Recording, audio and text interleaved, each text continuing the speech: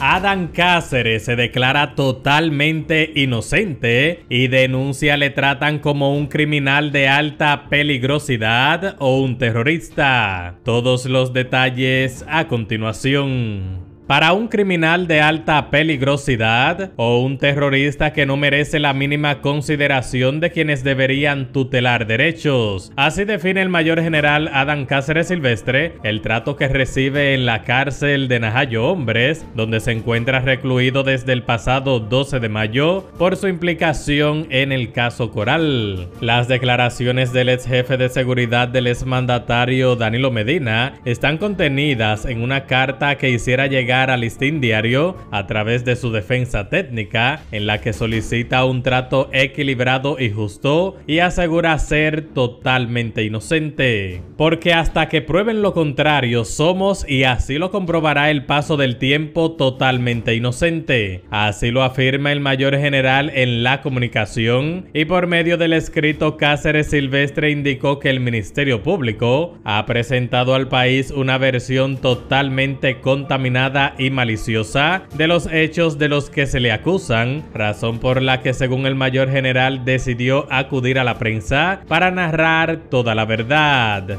Como saben, Adán Cáceres Silvestre se encuentra cumpliendo una medida de coerción de 18 meses en la cárcel de Najayo Hombres, junto al exdirector del Cuerpo Especializado de Seguridad Presidencial, el cabo policial Tanner Antonio Flete Guzmán, el coronel policial Rafael Núñez de Asa y el sargento de la Armada Alejandro José Montero Cruz. La carta que enviara el general a los medios de comunicación dice de la siguiente manera. Le escribimos desde nuestra prisión en la cárcel de Najayo, con la asistencia de nuestra defensa técnica, para solicitarle encarecidamente un trato equilibrado y justo, como ha sido siempre la norma de su medio. Frente a la pretensión del Ministerio Público de presentar al país una versión totalmente contaminada y maliciosa de los hechos que sirven de base para nuestra acusación, nos vemos en la obligación de acudir a la prensa para la medida de lo posible, narrar toda la verdad de cuanto ha ocurrido en torno a nosotros. Se nos han desconocido derechos fundamentales y se nos trata como un criminal de alta peligrosidad o un terrorista que no merece la mínima consideración de quienes deberían tutelar derechos, porque hasta prueba en contrario somos y así lo comprobará el paso del tiempo totalmente inocente. Agradeceré infinitamente por nosotros y por una sana Administración de Justicia que nos preste la debida atención en el esfuerzo de que hemos iniciado en procura de establecer la verdad y lograr nuestra libertad.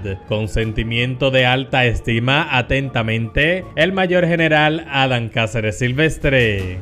Adán Cáceres descubrió cómo se siente cuando la tortilla está del otro lado este hombre que pasó ocho años como, no como jefe del cuerpo de seguridad presidencial, sino como dueño de las Fuerzas Armadas y que ha pasado a preso común en Najayo, se siente perseguido.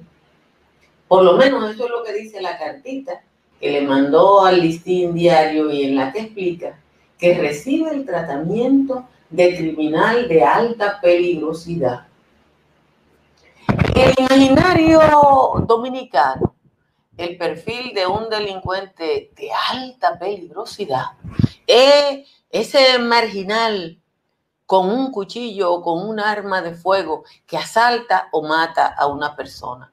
Y evidentemente Cáceres con uniforme y toda esa cosa que se pone en los guardias no es de esos. Él está imputado de apropiarse junto a un grupito de más de 3 mil millones de pesos del erario que salieron de los bolsillos suyos y de los bolsillos míos. Lo único que no nos dimos cuenta. Y por eso él no se considera peligroso. En definitiva, no usó ningún tipo de armas. El esfuerzo del Ministerio Público por llevar a juicio a los ladrones del erario es una novedad. Nosotros nos estamos estrenando y entrenando en eso estamos aprendiendo a ver una justicia que intenta hacer lo que le toca en cualquier esquema democrático, pero que aquí en República Dominicana lo único que había hecho era barrer el sucio y meterlo debajo de la alfombra. Por eso Adam se siente perseguido. Yo apuesto peso a Cachimbo Etusa que nunca, absolutamente nunca, en sus días de gloria, pensó que le iba a tocar Najayo Beach and Resort. Con frecuencia yo sobrellevo las quejas de ustedes mismos, los miembros de esta comunidad que quieren acción contra la corrupción, como si las investigaciones fueran una carrera en la que se premia a quien llegue más rápido.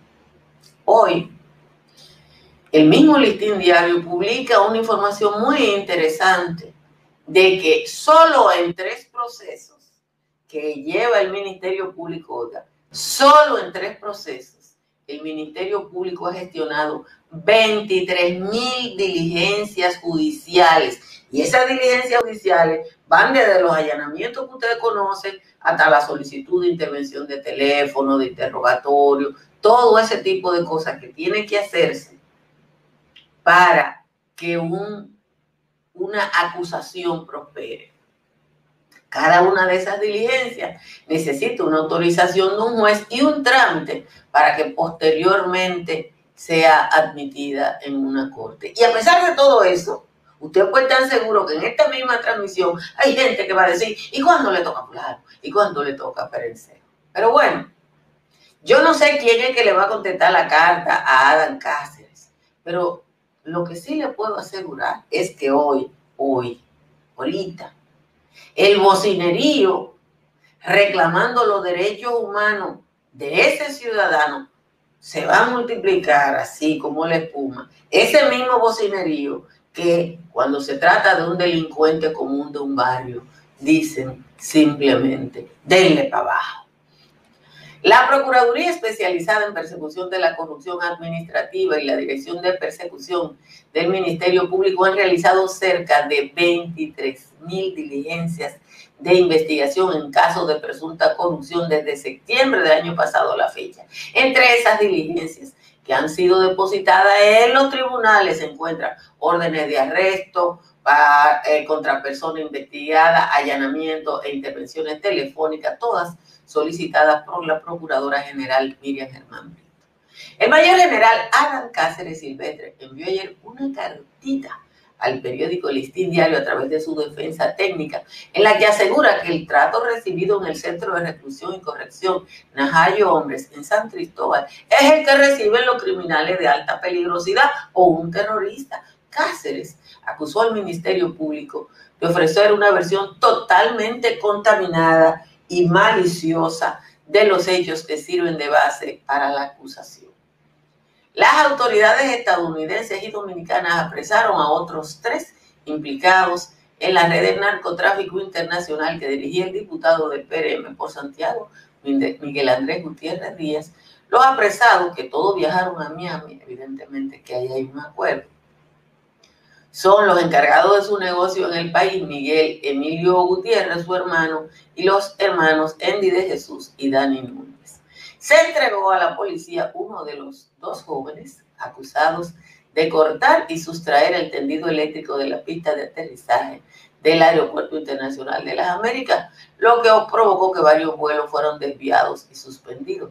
El joven fue identificado como Luis Ángel Álvarez, de 20 años, quien se entregó de forma voluntaria al destacamento de la Policía Nacional de Boca Chica. Esta es toda la información que tenemos por el momento, pero más adelante los mantendremos al tanto con las últimas informaciones de actualidad. Mientras les invito a que se suscriban a nuestro canal, no olviden dejarnos un me gusta y activar las notificaciones para que seas de los primeros en recibir nuestro contenido a la hora en que lo publiquemos. Hasta la próxima.